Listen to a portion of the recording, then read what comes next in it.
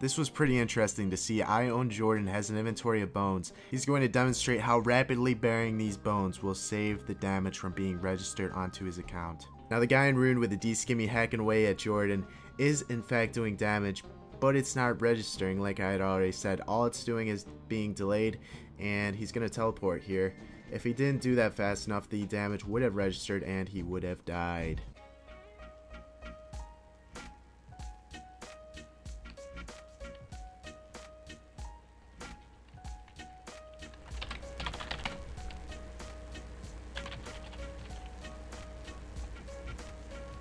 Dude, that just happened.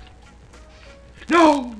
No! In the previous vid, the Gmaul prevailed pretty well. Let's see how it does in this bridge fight for cats farting. 546 XP drop for the finish.